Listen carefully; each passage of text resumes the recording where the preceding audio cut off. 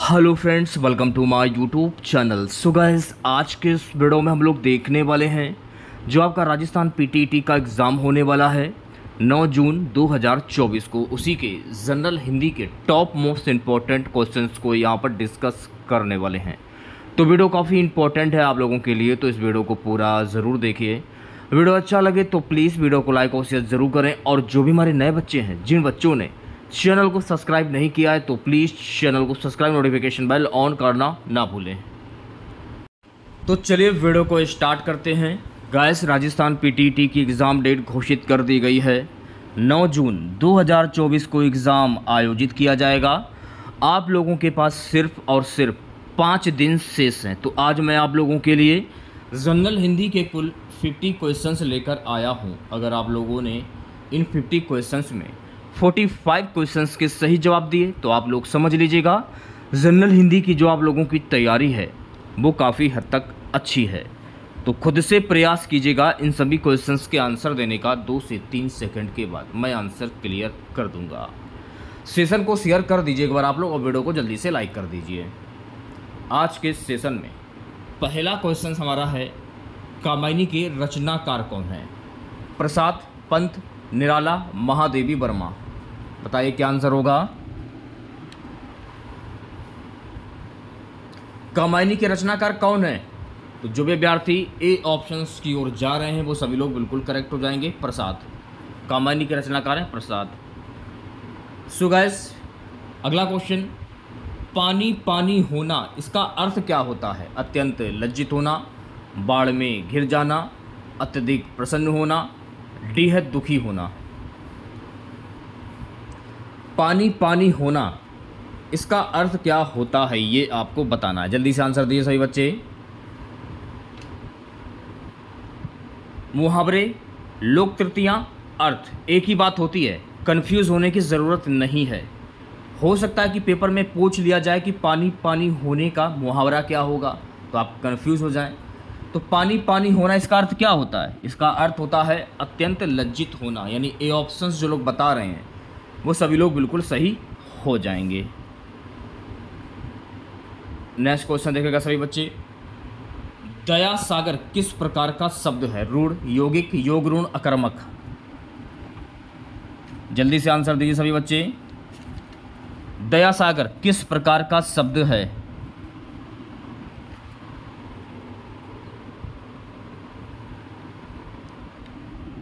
दया सागर जो है ना ये एक यौगिक शब्द है। तो बी ऑप्शंस जो लोग बता रहे हैं, वो सभी लोग बिल्कुल सही हो जाएँगे। गायस अगला क्वेश्चन हमारा है, कल्पना से अधिक के लिए एक शब्द क्या होगा? काल्पनिक, अकाल्पनिक, कल्पनातीत, कल्पित। बहुत ही इंपॉर्टेंट क्वेश्चन है। पेपर के लिए बहुत ही ज़्यादा महत्वपूर्ण। फाइव स्टार लगा लीजिए इस क्वेश्चन पर। कल्पना से अधिक के लिए एक शब्द क्या होगा? कल्पना से अधिक के लिए एक शब्द होता है कल्पनातीत यानी सी ऑप्शन जो लोग बता रहे हैं, वो बच्चे बिल्कुल करेक्ट हो जाएँगे। नेक्स्ट क्वेश्चन देखेगा। 55 क्वेश्चन है गाइस निम्नलिखित में से कौन सा शब्द अप उपसर्ग से निर्मित नहीं है? कौन सा ऐसा शब्द है जो कि अप उपसर्ग से निर्मित नहीं है? ये आपको बताना है। तो मैंने आप लोगों को कई बार बताया कि स्टार्टिंग का जो शब्द होगा, वो आपका उपसर्ग होगा। और लास्ट वाला जो शब्द होगा, वो आपका प्रत्यय होगा। पूछा क्या जा रहा है? कि अप उपसर्ग से निर्मित नहीं है। अब देखिए, अपवाद, ये भी अप उपसर्ग से निर्मित शब्द है। स्टार्टिंग का शब्द देखिए, अप निकल रहा है। अपकृति इसमें भी अप है। अपक्रम, इसमें भी अप है। लेकिन अधिगम जो है ना, ये अप उपसर्ग से निर्मित नहीं है। तो बी ऑप्शन जो लोग बता रहे हैं, वो बच्चे बिल्कुल करेक्ट हो जाएँगे। चलिए बढ़ते हैं नेक्स्ट क्वेश्चन की ओर। 56 क्वेश्चन हमारा है निम्नलिखित में से। किसकी वर्तनी शुद्ध है? तो देखिए, यहाँ पर क्या यहाँ पर आपको शुद्ध वर्तनी की पहचान करनी है। बताइए क्या आंसर होगा?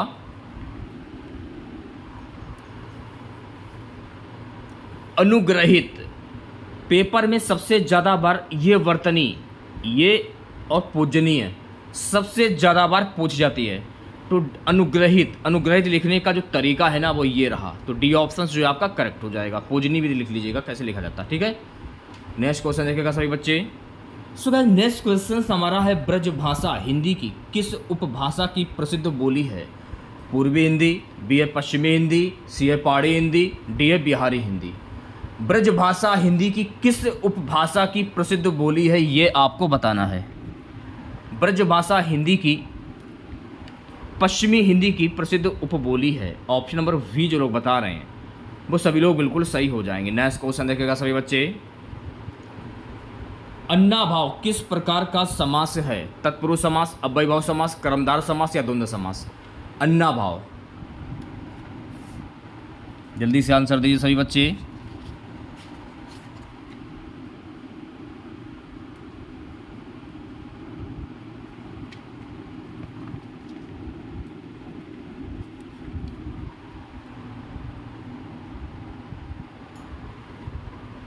अन्ना भाव किस प्रकार का समास है ये आपको बताना है? अब ध्यानपूर्वक मेरी बात को सुनिएगा, ठीक है? टाइम तो मैंने आप लोगों को दे दिया आंसर चूज़ करने के लिए। अब देखिए, इसमें अन्ना तो अलग है और भाव अलग है, ठीक है? दोनों जो हैं, वाक्य अलग अलग हैं। दोनों को आपस में जोड़ दिया गया, क्या बना? अन्ना भाव, ठीक है? इसलिए इस क्वेश्चन का सही जवाब हो जाएगा तत्पुरुष समाज जब भी दो शब्द अलग अलग हों और दोनों को जोड़कर एक नया शब्द बन जाए, वो आपका तत्पुरुष समास होता है। ऐसे आप पहचान सकते हैं। तो ए ऑप्शन जो है आपका बिल्कुल सही हो जाएगा। नेक्स्ट क्वेश्चन देखेगा सभी बच्चे। पंचवटी किस समास का उदाहरण है? कर्णधार, बहुप्रिय द्वंद्व या दिगु? पंचवटी। ध्यानपूर्वक क्वेश्चंस को देखिए फिर आंसर दीजिए। तो पंचवटी, ये संख्यावाची शब्द है? तो जहाँ पर संख्यावाची शब्द होता है, वहाँ पर कौन सा समास होता है? वहाँ पर समास होता है दिगु समास। तो डी ऑप्शन जो लोग बता रहे हैं, वो बच्चे बिल्कुल करेक्ट हो जाएँगे। ठीक है नेक्स्ट क्वेश्चन देखेगा सभी बच्चे। निष्फल किस प्रकार की संधि है? दीर्घ स्वर संधि, विसर्ग संधि, व्यंजन संधि, या इनमें से कोई नहीं? बताइए क्या आंसर होगा? निष्फल किस प्रकार की संधि है?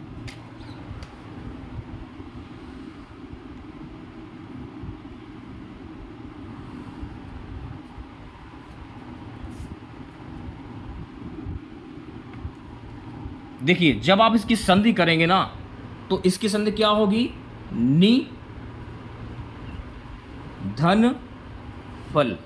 ये इसकी संधि हो जाएगी तोड़ने पर। तोड़ने पर इसकी संधि ये हो जाएगी, नी, धन, फल। ये विसर्ग वाले आप जो निशान देख रहे हैं, इस प्रकार से कर सकते हैं आप लोग। और निष्फल जो है, ये क्वेश्चन काफ़ी इंपॉर्टेंट है, इस पर आप फाइव स्टार लगा सकते हैं। तो वी ऑप्शन जो है आपका करेक्ट हो जाएगा, विसर्ग संधि हो जाएगा। विसर्ग वाले निशान दिवस तोड़ना सीख लीजिए, संधि तो आप यू उड़ा देंगे। अगला क्वेश्चन क्या है कि आरोह शब्द का विपरीत अर्थक शब्द क्या होता है? जल्दी से आंसर दीजिए सभी बच्चे। आरोह शब्द का विपरीत अर्थक शब्द क्या है? यानी इसका विलोम शब्द क्या होगा? विलोम शब्द हो या विपरीत अर्थक शब्द हो, दोनों एक ही चीज़ें हैं। कंफ्यूज होने की ज़रूरत नहीं है आप लोगों को। आरोह का विपरीत अर्थक शब्द क्या होता है? अवरोह होता है, यानी ए ऑप्शन जो है आपका करेक्ट हो जाएगा। अगला क्वेश्चन देखेगा सभी बच्चे। लंबोदर किस प्रकार का शब्द है? ऋण, योग ऋण, योगिक, इनमें से कोई नहीं। जल्दी से आंसर दीजिए सभी बच्चे।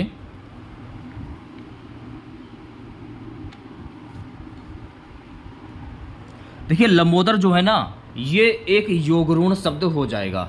ठीक है तो बी ऑप्शन जो है आपका करेक्ट हो जाएगा, क्योंकि लंबा उदर है जिनका। अगला क्वेश्चन क्या है कि चूहे का बच्चा बिल ही खोदता है? का क्या अर्थ है? क्योंकि चूहे का बच्चा बिल ही खोदता है, इसमें ये कहा जा रहा है, क्योंकि चूहे का जो बच्चा है वो बिल ही खोदेगा ना, क्योंकि वो अपने जाति स्वभाव नहीं छोड़ता है। क्योंकि चूहा जो है, वो भी बिल खोदता है, और चूहे का बच्चा वो भी बिल खोदता है, क्योंकि यहाँ पर जो बात हो रही है, बच्चे की बात, चूहे के बच्चे की बात हो रही है तो चूहे का बच्चा जो जो बिल खोदता है तो ये अपने जाति स्वभाव को नहीं छोड़ता है। ये आपको ध्यान रखना है, ठीक है? इसलिए यहाँ पर इसका अर्थ क्या हो जाएगा? जन्मजात कार्य बदल नहीं सकता, यानी बी ऑप्शन जो है आपका बिल्कुल करेक्ट हो जाएगा। चलिए, बढ़ते हैं नेक्स्ट क्वेश्चंस की और नेक्स्ट क्वेश्चंस देखेगा सभी बच्चे। अगला क्वेश्चन क्या है? जो वस्तु, व्यक्ति या परिस्थितियाँ स्थायी भाव को जागृत करती हैं उन्हें क्या कहते हैं? विवाह, उत्प्रेरक, अनुभाव, संचारी। जो वस्तु, व्यक्ति या परिस्थितियाँ स्थायी भाव को जागृत करती हैं, उन्हें क्या कहते हैं? उन्हें हम कहते हैं विभाव यानी ए ऑप्शन जो है आपका बिल्कुल करेक्ट हो जाएगा। ठीक है? अगला क्वेश्चन देखिएगा सभी बच्चे। धर्माधर्म में कौन सा समास होगा? द्वंद्व समास, दिगु समास, तत्पुरुष समास या कर्मधार समास? क्वेश्चन बहुत ही इंपॉर्टेंट है। ठीक है? सोच समझ कर आंसर दीजिएगा सभी बच्चे। धर्माधर्म में कौन सा समास होगा? तो धर्माधर्म, धर्म या अधर्म। आप लोगों ने कई बार देखा होगा, बहुत सारे शब्द ऐसे होते हैं जिनमें बीच में एक योजक चिन्ह नहीं होता है, और फिर भी वो आपका द्वंद्व समास होता है। जहाँ पर बहुत से ऐसे शब्द होते हैं जिनमें बीच में योजक चिन्ह नहीं होता है, फिर भी वहाँ पर द्वंद्व समास होता है। तो धर्माधर्म में कौन सा समास हो जाएगा? द्वंद्व समास हो जाएगा। तो आप इसे आप नोट कर लीजिए किसी कॉपी पर, क्योंकि ये क्वेश्चन जो है बहुत ही ज़्यादा इंपॉर्टेंट है और काफ़ी ज़्यादा ट्रेंड में रहता है। ठीक है? तो ए ऑप्शन जो है आपका करेक्ट हो जाएगा द्वंद्व समास यहाँ पर हो जाएगा धर्माधर्म में। अगला क्वेश्चन देखिएगा सभी बच्चे। निम्न में से टीका का पर्यायवाची शब्द क्या होगा? ये आपको बताना है। टीका का पर्यायवाची शब्द क्या होता है? जल्दी से आंसर दीजिए सभी बच्चे। टीका का पर्यायवाची शब्द भाषांतर भी होता है भाष्य भी होता है और विवृत्ति भी होता है। इसलिए इस क्वेश्चन का सही जवाब हो जाएगा ऑप्शन नंबर डी चलिए नेक्स्ट क्वेश्चन की ओर बढ़ते हैं। अगला क्वेश्चन देखेगा सभी बच्चे। उल्लू का तत्सम शब्द क्या हो, होगा? जल्दी से आंसर दिए सही बच्चे। उल्लू का तत्सम शब्द क्या होता है?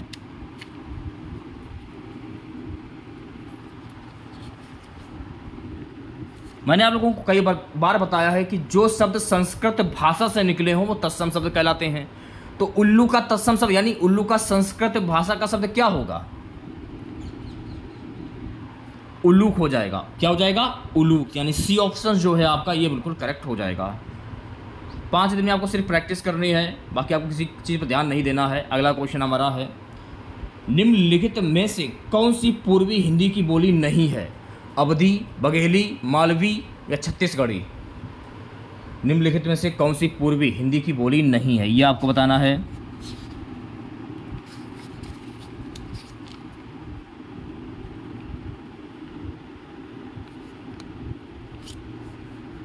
जो भी विद्यार्थी सी ऑप्शन की ओर जा रहे हैं, वो सभी लोग बिल्कुल करेक्ट हो जाएँगे। मालवी। बच्चों, अगला क्वेश्चन देखेगा निम्न में से कौन सा बादल का पर्यायवाची है? अम्बुत बलाहक, जीमूत, ये सभी।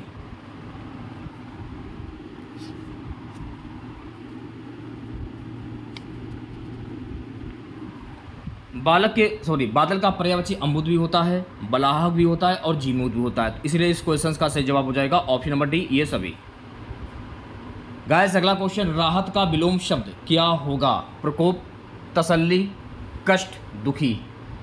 राहत का विलोम शब्द क्या होता है? राहत का विलोम शब्द होता है प्रकोप। यानी कि ए ऑप्शन जो है आपका बिल्कुल करेक्ट हो जाएगा। अगला क्वेश्चन आपके स्क्रीन पर। सातत्य का विलोम क्या होता है? असत्य असत्य तारत्व में सत्य की चिरतनता। सातत्य का विलोम क्या होगा?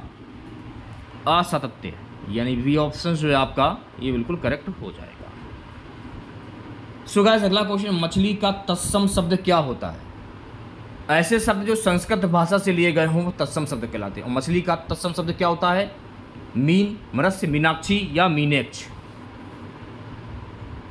जल्दी से आंसर दीजिए सभी बच्चे। मछली का तत्सम शब्द क्या होगा? संस्कृत भाषा का शब्द। मत्स्य हो जाएगा। यानी वी ऑप्शन जो लोग बता रहे हैं वो बच्चे बिल्कुल करेक्ट हो जाएँगे। नेक्स्ट क्वेश्चन हमारा है, प्रतिहिंसा में कौन सा उपसर्ग प्रयुक्त हुआ है? प्रतिहिंसा में। स्टार्टिंग का शब्द। मैंने आप लोगों को कई बार बताया कि स्टार्टिंग का जो शब्द, यानी शुरुआत का शब्द होता है उपसर्ग, और आखिरी वाला शब्द क्या होता है? प्रत्यय होता है। तो प्रति जो है ना, ये आपका उपसर्ग हो जाएगा। यानी कि वी ऑप्शन जो आपका करेक्ट हो जाएगा। नेक्स्ट क्वेश्चन देखेगा सभी बच्चे। विद्याधन अर्थी किसका संधि विच्छेद है? विद्यार्थी। विद्याधन अर्थी किसका संधि विच्छेद है? ये आपको बताना है। तो विद्याधन अर्थी, ये विद्यार्थी का संधि विच्छेद हो जाएगा, ठीक है?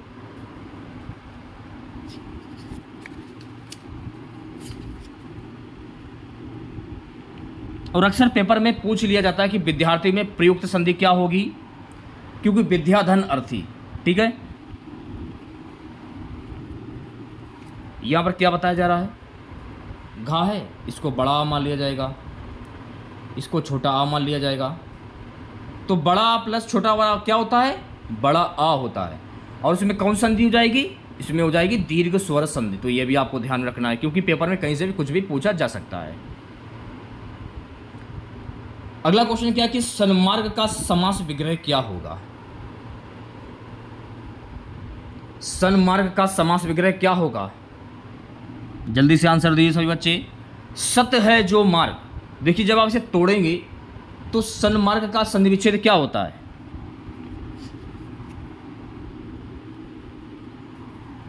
सत धन मार्ग, यानी सत धन मार्ग, ऐसे। ऐसे भी आप पता कर सकते हैं कि इसका समास विग्रह क्या होगा, तोड़ना सीख लीजिए। यानी सत है जो मार्ग बी ऑप्शन जो है आपका करेक्ट हो जाएगा। संधि विच्छेद के माध्यम से भी पता कर सकते हैं और प्रैक्टिस करके भी पता पता कर सकते हैं कि इसमें कौन सा समास विग्रह होगा। अगला क्वेश्चन देखेगा सभी बच्चे। सेशन को शेयर कर दीजिए एक बार आप लोग और वीडियो को जल्दी से लाइक कर दीजिए। अगला क्वेश्चन क्या है इसकी जो बात हृदय में अच्छी तरह बैठ गई हो, हेतु उपयुक्त शब्द क्या होगा? हृदय हृदय में, हृदय उर्द इनमें से कोई नहीं। बताइए क्या आंसर होगा? जो बात हृदय में अच्छी तरह बैठ गई हो इसके लिए उपयुक्त शब्द क्या होगा? हृदय ऑप्शन नंबर वी जो है आपका, ये बिल्कुल करेक्ट हो जाएगा। बच्चों, अगला क्वेश्चन देखेगा सभी। हाथ मलना मुहावरे का सही अर्थ क्या होगा? पश्चाताप करना हाथ में दर्द होना, लाभ होना, हानि होना। पश्चाताप करना, इसका मुहावरा क्या होगा? जल्दी से आंसर दीजिए सभी बच्चे। हाथ मलना, मुहावरे का अर्थ क्या होगा? मान लीजिए से आप इंटरमीडिएट की परीक्षा दे रहे हैं, ठीक है? अब आपने पाँच छः सात महीने तक कुछ भी नहीं पढ़ा और आप एग्ज़ाम के समय पढ़ रहे हैं। तो आप सोच रहे हैं कि, कि काश पढ़ लिया होता तो प, आज पछता नहीं रहे होते। यानी पश्चाताप करना ऑप्शन नंबर ए जो है आपका बिल्कुल करेक्ट हो जाएगा हाथ मलना। क्योंकि जो टाइम निकल चुका है वो टाइम थोड़ी आ जाएगा वो टाइम निकल चुका है। अगला क्वेश्चन देखिएगा सभी बच्चे। नेक्स्ट क्वेश्चन है कि तारे गिरना मुहावरे का सही अर्थ क्या होगा? बड़ा काम करना चिंतित रहना मुसीबत में फंसना खाली बैठे रहना। तारे गिरना, इसका मुहावरा क्या होगा? जल्दी से आंसर दीजिए सभी बच्चे। तो तारे गिरना, इसका मुहावरा होता है चिंतित रहना। ऑप्शन नंबर वी जो लोग बता रहे हैं, वो बच्चे बिल्कुल करेक्ट हो जाएँगे। अगला क्वेश्चन देखेगा। श्रृंगार रस का स्थायी भाव क्या होता है भाई? निर्वेद, शोक, रति या घृणा?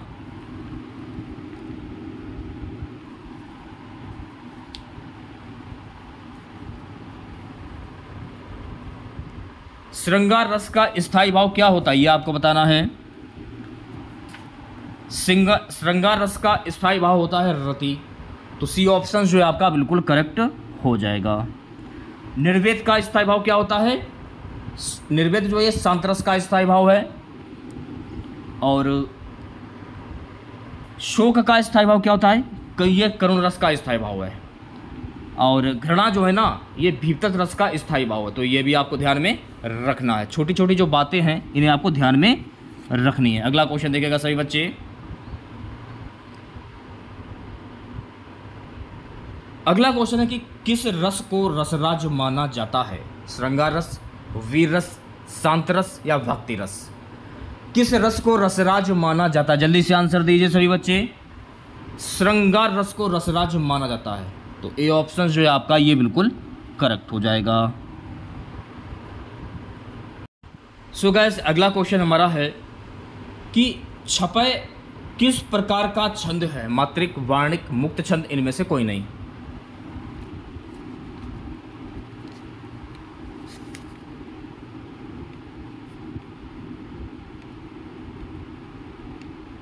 जल्दी से आंसर दिए सही बच्चे। छपाई जो है ना, ये एक मात्रिक छंद है। ऑप्शन नंबर ए जो लोग बता रहे हैं, वो बच्चे बिल्कुल करेक्ट हो जाएँगे। नेक्स्ट क्वेश्चन देखेगा सभी बच्चे। स्कंद गुप्त किसकी नाट्य कृति है? जयशंकर प्रसाद, हरिकृष्ण प्रेमी, लक्ष्मी नारायण मिश्र, मोहन राकेश। स्कंद गुप्त किसकी नाट्य कृति है? तो स्कंद गुप्त जो है ना, ये जयशंकर प्रसाद की नाट्य कृति है। ऑप्शन नंबर ए जो है आपका, ये बिल्कुल करेक्ट हो जाएगा। चलिए बढ़ते हैं नेक्स्ट क्वेश्चन के और अगला क्वेश्चन देखिएगा सभी बच्चे। कृष्णार्जुन युद्ध किसकी नाट्य कृति है? जयशंकर प्रसाद, माखनलाल चतुर्वेदी, माधव शुक्ल, जगदीश चंद्र माथुर। कृष्णार्जुन युद्ध किसकी नाट्य कृति है? कृष्णार्जुन। कृष्णार्जुन जो है ना, ये माखन लाल चतुर्वेदी की नाट्य कृति है। ऑप्शन नंबर वी जो लोग बता रहे हैं, वो बच्चे बिल्कुल करेक्ट हो जाए। अगला क्वेश्चन बादल राग किसकी लंबी कविता है? जयशंकर प्रसाद, निराला, नागार्जुन, मुक्तिबोध। तो ये निराला की, सूर्यकांत त्रिपाठी निराला की कविता है। प्रश्न संख्या, पचासी से छियासी निम्नलिखित प्रत्येक वाक्य के नीचे चार विकल्प दिए गए हैं। उनमें कोई एक विकल्प उक्त वाक्य का शुद्ध रूप है, उसका चयन करना है आप लोगों को, ठीक है? अब देखिए, ध्यानपूर्वक मेरी बात को सुनेगा इधर आजकल भ्रष्टाचार बहुत है। इसके आपका शुद्ध शब्द चुनना है आपको, शुद्ध शब्द की पहचान करनी है। बताइए क्या आंसर होगा? आजकल भ्रष्टाचार बहुत है, ये आपका शुद्ध शब्द हो जाएगा तो सी ऑप्शन जो है आपका करेक्ट हो जाएगा। इसकी वास्तविक कारण क्या है? इसका शुद्ध शब्द क्या होगा? ये तो क्वेश्चन बहुत ही सिंपल से आसानी से आप बता सकते हैं। इसका वास्तविक कारण क्या है? ये आपका शुद्ध शब्द हो जाएगा तो ए ऑप्शन करेक्ट हो जाएगा। नेक्स्ट क्वेश्चन देखेगा सही बच्चे। मोर नाच रहा है, इस वाक्य में मोर क्या है? भाववाचक संज्ञा, व्यक्तिवाचक संज्ञा और द्रववाचक संज्ञा, जातिवाचक संज्ञा। मोर नाच रहा है। तो मोर नाच रहा है और व्यक्ति देख रहा है तो ज़ाहिर सी बात है, यहाँ हो जाएगा जातिवाचक संज्ञा। डी ऑप्शन जो है आपका करेक्ट हो जाएगा। नेक्स्ट क्वेश्चन देखेगा सभी बच्चे। निम्नलिखित शब्दों में कौन सा अशुद्ध शब्द है? तो यहाँ पर देखिए आपको अशुद्ध शब्द की पहचान करनी है, ठीक है? साफ़ पता चल रहा है कि उज्जवल भी सही है, व्याकरण भी सही है और कृतज्ञ भी सही है, लेकिन शताब्दी जो है ना, शताब्दी, ये बिल्कुल गलत हो जाएगा। तो सी ऑप्शन जो है आपका, ये बिल्कुल करेक्ट हो जाएगा।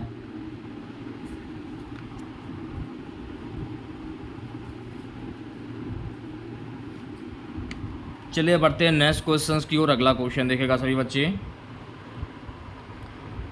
वह कैसा व्यक्ति है जो अभी तक आया नहीं? ये किस प्रकार का वाक्य है? सरल मिश्र संयुक्त इनमें से कोई नहीं। क्या बोल रहा है कि वह कैसा व्यक्ति जो अभी तक आया नहीं? तो एक, एक कैसा वाक्य हो जाएगा? क्योंकि वह कैसा व्यक्ति है जो अभी तक आया नहीं? आपने किसी काम के लिए भेजा उसको पैसे भी दिए और आपने कोई चीज़ मंगाई और वो व्यक्ति आया भी नहीं आपने पैसे भी दे दिए। क्योंकि वह कैसा व्यक्ति है, उसके गुण की भी यहाँ पर पता चल रहा है और व्यक्ति का भी पता चल रहा है। तो कई चीज़ों का पता चलता है तो यहाँ मिश्र वाक्य हो जाएगा। तो मिश्र बी ऑप्शन करेक्ट हो जाएगा, ठीक है? अगला क्वेश्चन देखेगा सभी बच्चे। व्याकरण के आचार के लिए एक शब्द क्या होता है? तो व्याकरण के लिए आचार्य के लिए एक शब्द क्या होता है? जल्दी से आंसर दिए सभी बच्चे।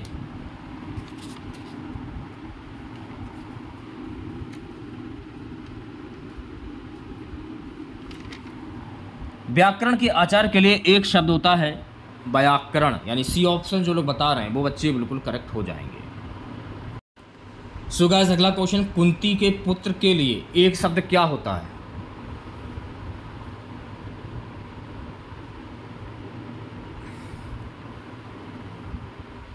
ये क्वेश्चन बहुत ही इंपॉर्टेंट है फाइव स्टार लगा लीजिए। कुंती के एक पुत्र के लिए होता है कुंती। क्या होता है? कुंते ऑप्शन नंबर सी जो है आपका करेक्ट हो जाएगा। नेक्स्ट क्वेश्चन देखेगा सभी बच्चे। निम्नलिखित में से कौन सा शब्द आई प्रत्यय से बना है? भलाई, निष्ठा, समझौता, संपन्न। भलाई भलाई, आई आई निकल रहा है। निष्ठा में तो निकल रहा नहीं रहा है। समझौता भी में नहीं निकल रहा है। संपन्न में भी नहीं निकल रहा है। तो ज़ाहिर सी बात है गाइस कि इसमें जो भलाई है ना, इसमें आई प्रत्यय निकल रहा है। तो मतलब प्रत्यय का मतलब क्या होता है? आखिरी वाला शब्द। भलाई, आई निकल रहा है। तो ए ऑप्शन जो है आपका करेक्ट हो जाएगा। नेक्स्ट क्वेश्चन देखेगा सभी बच्चे। किस मुहावरे का अर्थ है परेशान करना? छक्के छोड़ाना, पानी पानी होना, लोहे के चने चबाना, आँखों का तारा। बताइए क्या आंसर होगा? किस मुहावरे का अर्थ है परेशान करना?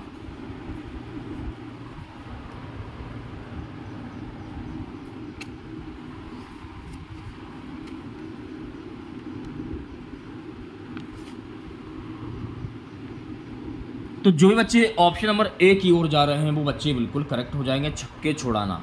मान लीजिए ऑप्शंस में हो, नाक में दम करना तो आप इस पर भी टिक कर सकते हैं। अगला क्वेश्चन देखेगा सभी बच्चे, यह किताब रमेश को दे दो। इस वाक्य में प्रयुक्त कारक विभक्ति है, संप्रदान, अधिकरण, करण या कर्म। बताइए क्या आंसर होगा?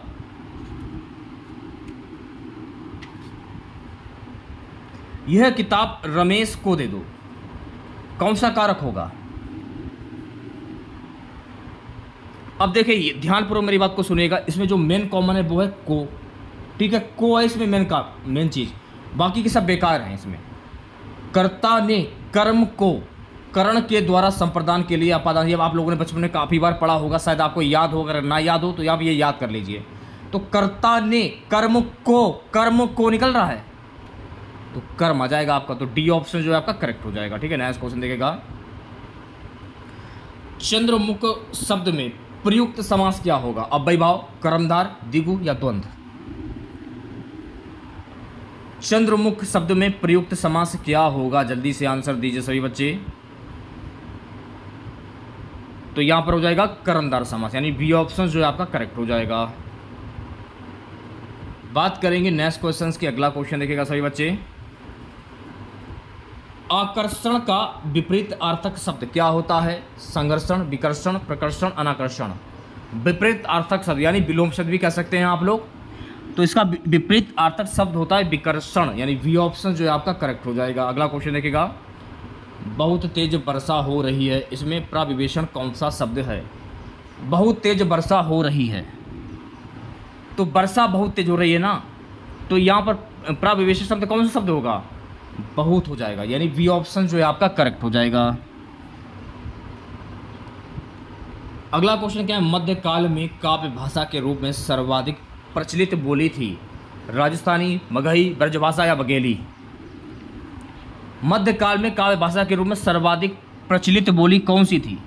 ब्रजभाषा, यानी सी ऑप्शन जो है आपका बिल्कुल करेक्ट हो जाएगा। अगला क्वेश्चन क्या है गाइस कि धा का उच्चारण स्थान क्या है? कंठ, तालु ओष्ट दंत।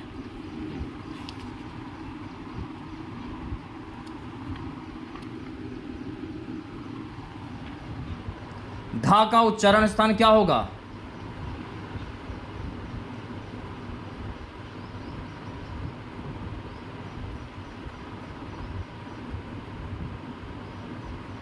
देखिए, का, खा, गा, घा, कंठ, पा, फा, पा फा बा, भा और माँ। ओस्ट हो जाएगा तालु, ता, ये दंतस्त हो जाएगा। ता, था ता, था सॉरी ता हुआ, था हुआ धा हुआ, ता, था, धा धा, ना। ये हो जाएगा आपका दंत, ठीक है? तो डी ऑप्शन जो है आपका करेक्ट हो जाएगा। यहाँ से एक क्वेश्चन पूछा जा सकता है, इसे आप देखकर ज़रूर जाइएगा। अगला क्वेश्चन क्या है? कुछ लड़कियाँ आ रही हैं, इस वाक्य में कौन सा विशेषण है? सार्वनामिक, गुणवाचक, परिमाणवाचक, संख्यावाचक। यह आज का लास्ट क्वेश्चन रहेगा। कुछ लड़कियाँ आ रही हैं। कोई कन्फर्म नहीं कि कितनी लड़कियाँ आ रही हैं। दस भी हो सकती हैं, बीस भी हो सकती हैं, तीस भी हो सकती हैं। कोई संख्या नहीं है। तो कुछ लड़कियाँ आ रही तो यहाँ हो जाएगा संख्यावाची शब्द। यानी डी ऑप्शन जो है आपका बिल्कुल करेक्ट हो जाएगा। तो आज की इस क्लास में हम लोगों ने पी टी चौबीस की परीक्षा के लिए जनरल हिंदी के कुल फिफ्टी क्वेश्चन डिस्कस किए हैं। फिफ्टी में आपको फोर्टी फाइव क्वेश्चन के सही जवाब बताने थे। तो फिफ्टी में आप लोगों ने कितने क्वेश्चन के सही जवाब बताए कमेंट बॉक्स में ज़रूर बताइएगा।